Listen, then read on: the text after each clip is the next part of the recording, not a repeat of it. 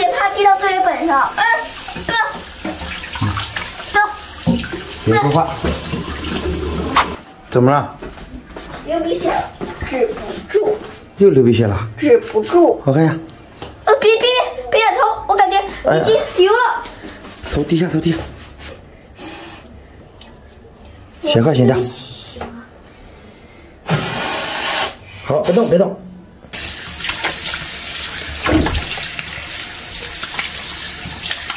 洗鼻子是没用的，要首先拍额头。我也拍了，有些也拍了，可是还是不行。怎么了？能写作业吗？我得怕滴到作业本上。嗯，哥，走。别说话。别，你把我头发，你把我头发都湿了。怎么回事啊？你是不是把饼干？你在那里跟妹妹把那一盒饼干都吃了？没有啊，我我这只吃了几口。你这吃了几口？对，我这只吃一个一根，然后妹妹这个吃了好多。我吃了一根，去写作业时，刚刚写到第二行，就这样了。怎么搞的？不知道，他前段时间经常流鼻血，然后，然后今这段时间没流，然后又后流了，对，可能是你那个东西太干了。不是，有可能你的那种特产太干。上次去医院检查了，说是过敏性上火流鼻血，过敏，我对干的东西过敏了。说止鼻血还得老爸冲。我看看捏了好久怎么都不行。再来一下。呱呱呱哇什么蛙？哇，和青蛙似的。呱！血蛙。哎不行，哎哎血块儿，我看，血块，我先看一眼。不行血块儿，哦，哎又流了，啊，又流了。又流了。没有流嗯，，不会再流了，不会再流多了。这是水。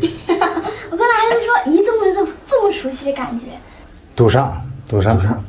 我们小时候就给它堵上，就拿棉球堵上，那太大了。小姑姑说她她的同桌因为流鼻血在那边把抽屉都变成了垃圾桶。这个流鼻血可大可小的，你知道吧？原因找到就行了。好了，走吧。等会儿你写作业的时候啊，你再观察一下。啊？要是要是还还流的话，不行，老爸再带你去医院再检查一下。别再去了，再去的话花钱花太多了。这哪是花钱的事儿啊？这就是花钱的事儿。这咋是花钱的事儿？你你检查病啊，还嫌花钱？